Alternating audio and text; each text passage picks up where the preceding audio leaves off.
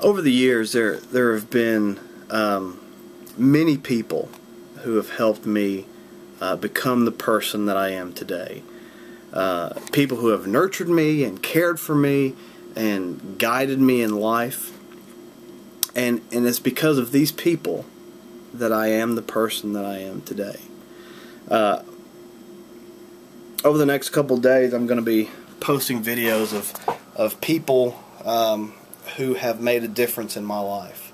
Uh, people who may not even realize the difference that they've made in my life. But um, I'm going to start posting some of these videos.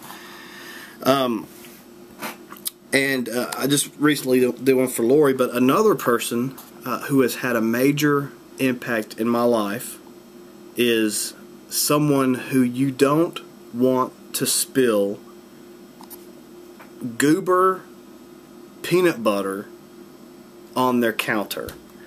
Um, believe me, if you did, it would be the last time you ever spill anything on their counter. It was a frightful, horrifying experience. I mean, this man takes his goober peanut butter very serious. And his name is William Bill Speight Esquire the Third, or I like to call him Bill for short. I first met Bill at a Waffle House. Uh, I'm guessing it was around 1997. I think that's when it was. Uh, I was interviewing uh, with him. Uh, I was interviewing. I was being interviewed by him uh, for an internship that summer at the Hixson Church of Christ, which is close to Chattanooga.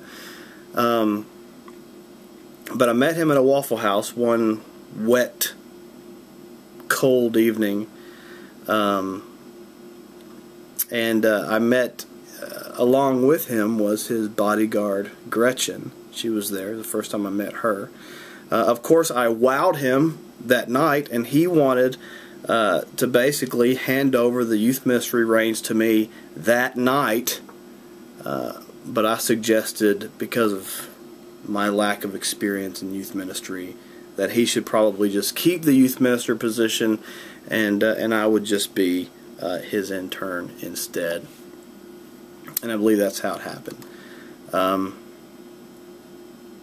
I actually typed this out, so I'm reading it on my screen right there. So if you see me looking up, that's why. Um, I think the thing that I, I, admire, I admire about him uh, the most is the fact that we we both kind of grew up having our own daddy issues. He had his daddy issues. I had my daddy issues. Um, and and I can see in his life that he he has overcome uh, these issues.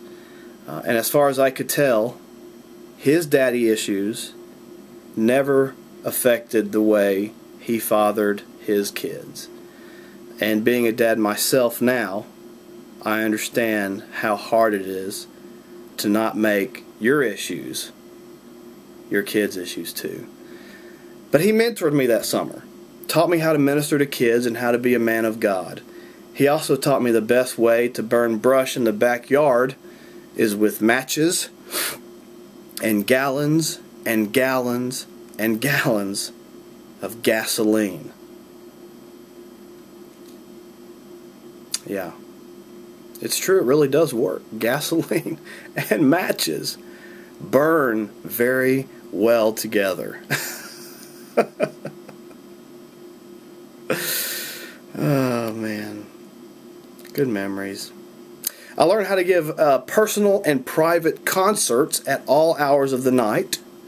I learned uh, the proper way to care for my jar of D. Uh, and I learned you should never lose one of his house keys because, brother, it's almost as bad as spilling goober peanut butter on his counter. Okay? Uh, and you should never try to wrestle with the kid next door. I think the kid's name was Zach. But that boy was rough.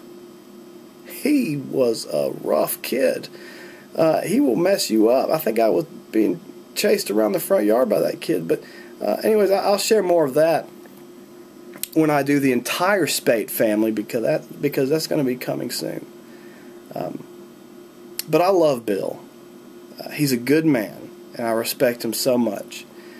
When I think of him today, even though we uh, had some of our own issues that summer, uh, we have continued to be good friends to this day.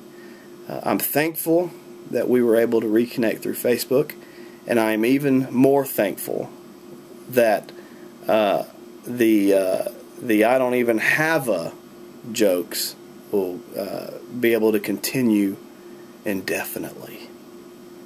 Um, Bill, you have made an impact in my life, brother, and I'm very thankful for you. Um, you are a father to me, and I'm thankful for that. Love you, man. Oh, uh, yeah. Ashley, Jill, Bill, uh, you guys are all tagged in this video. If you think of any more memories, I would love to. I would love to hear some of these memories. Let's keep, let's keep uh, some of these memories going. All right. See you later. Take care.